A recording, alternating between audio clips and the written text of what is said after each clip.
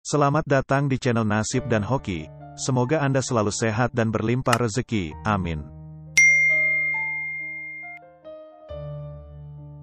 Video menarik kali ini akan mengulas mengenai 10 weton anak yang akan kaya.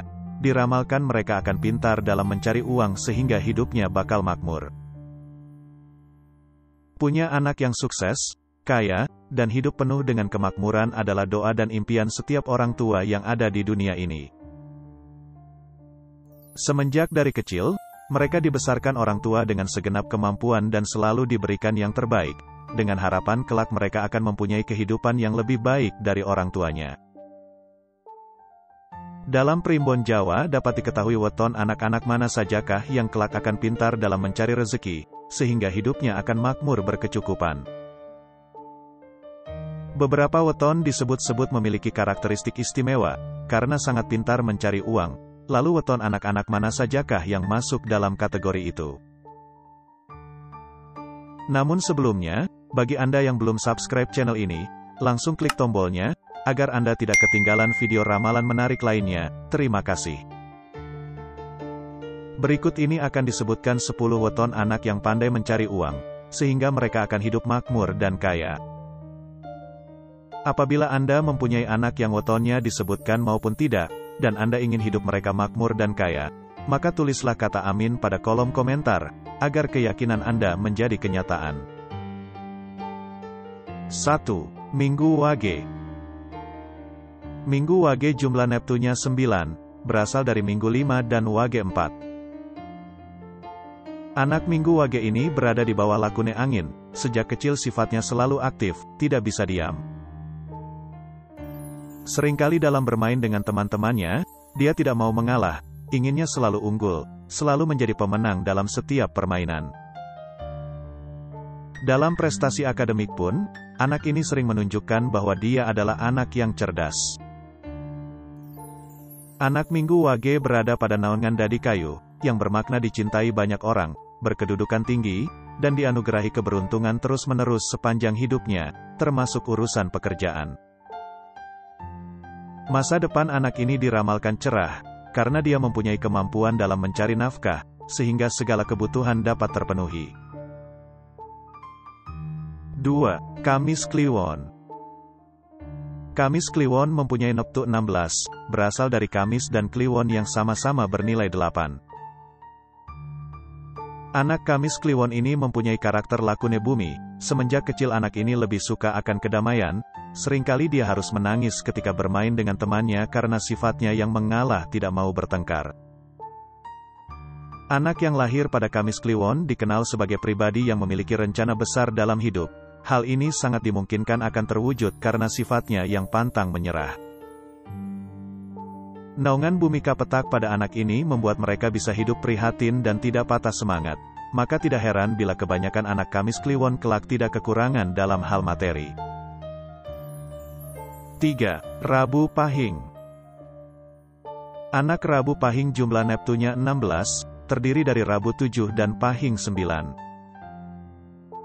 Anak weton Rabu Pahing mempunyai bakat untuk menjadi pemimpin, seperti watak karakternya yaitu lakune bumi, pengayom dan berwibawa. Anak weton Rabu Pahing merupakan weton anak yang diprediksi akan pintar cari uang ketika dewasa nanti. Weton yang berada pada naungan tunggak semi ini disebut sebagai weton anak yang selalu mendapatkan rezeki, rezekinya selalu bersemi ke mana pun dia mencarinya. Adapun keistimewaan lainnya dari weton anak ini yaitu pandai dalam segala bidang ilmu karena berada di naungan ilmu latipan, kepandaiannya tersebut membuat mereka mudah untuk mencari uang. 4. Selasa Pon Weton anak Selasa Pon ini mempunyai jumlah neptu 10, terdiri dari Selasa 3 dan Pon 7. Pendito bangun teki menjadi watak bagi weton anak berjumlah 10 ini. Dalam primbon menyebutkan anak dengan watak ini akan menjadi pribadi yang cerdas dan tidak mudah tersinggung. Tipikal anak Selasa Pon adalah bersemangat, hal ini akan berpengaruh dalam menjalani kehidupannya kelak. Anak ini di masa depan menjadi orang yang pantang menyerah dalam mencari uang. Kalaupun dia harus pergi keluar pulau, bahkan keluar negeri pun akan dilakukan demi menghidupi keluarga.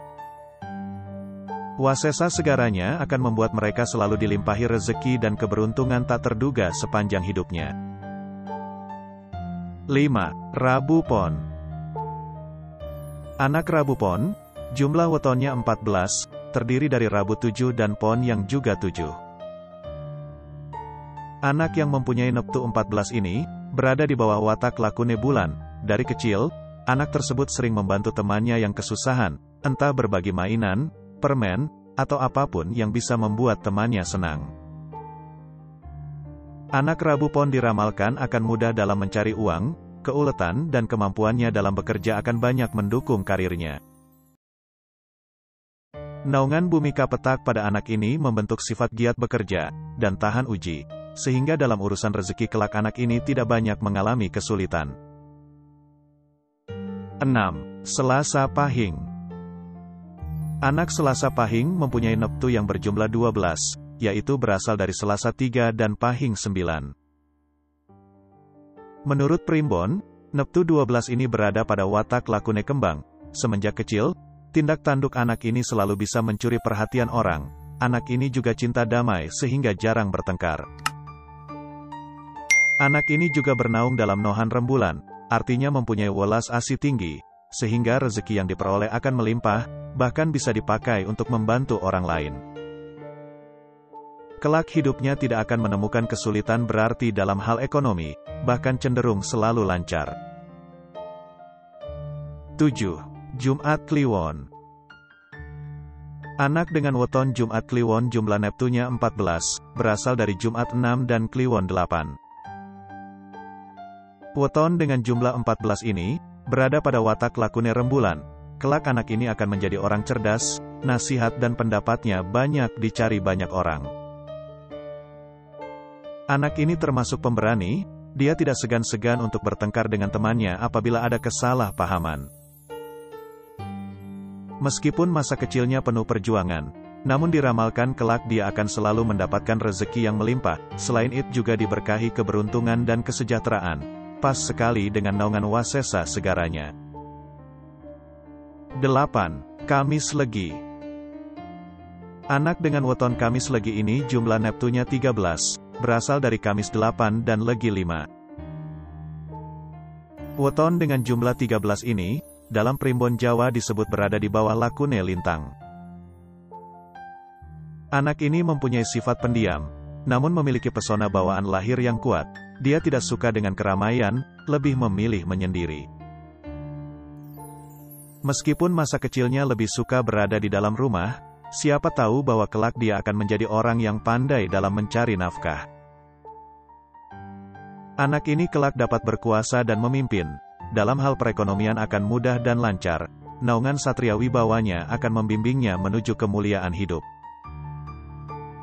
9. Senin Wage Anak Senin Wage Neptunya 8, berasal dari penjumlahan Senin dan Wage yang sama-sama bernilai 4. Neptu 8 dalam primbon disebut berada pada lakune geni, artinya adalah anak ini akan mewarisi sifat api yaitu mudah emosi, namun di lain pihak juga akan bersemangat dalam menjalani hidupnya. Diramalkan oleh nenek moyang bahwa anak kelahiran weton ini berada pada tunggak semi, yaitu rezeki akan selalu mengikutinya, meskipun abis akan segera memperolehnya lagi. Kelak anak ini akan memiliki kepandaian dalam mengolah segala sesuatunya untuk kemudian diubah menjadi pendapatan pribadinya. 10. Rabu Legi Weton anak yang satu ini mempunyai jumlah noktu 12, yaitu Rabu 7 ditambah Legi 5. Anak Rabu Legi berada pada watak lakune kembang, mempesona dan mencuri perhatian dengan segala tingkah polahnya. Di balik sifatnya yang kadang lebih banyak diam, anak ini menyimpan sifat yang bertanggung jawab dan dapat diandalkan. Dalam primbon, weton ini disebutkan berada pada naungan sumur Sinaba, di mana setiap perkataan dan nasihatnya akan dapat membawa pengaruh dan keputusan besar. Dalam mencari nafkah dan rezeki pun terbilang tidak sulit. Anak ini kelak akan pandai dalam mencari uang, bahkan rezekinya akan menular pada keluarganya yang lain. Itulah tadi 10 weton anak yang akan kaya, mereka pintar mencari uang, sehingga hidupnya bakalan makmur. Bagi penonton sekalian yang masih memiliki orang tua, sempatkanlah untuk mengucap terima kasih kepada mereka, karena mereka sudah berkorban dan mendoakan kalian setiap hari. Bagi yang orang tuanya sudah tidak ada, sempatkanlah untuk berziarah dan berkirim doa, karena itu semua adalah wujud bakti kita kepada mereka. Berbakti pada orang tua adalah salah satu cara paling ampuh untuk membuka pintu rezeki dan melancarkan rezeki kepada kita. Akhir kata, untuk semua orang tua dan penonton video ini, admin doakan agar sehat selalu, diberi keselamatan, dan dilimpahkan rezekinya oleh Tuhan Maha Kuasa. Amin.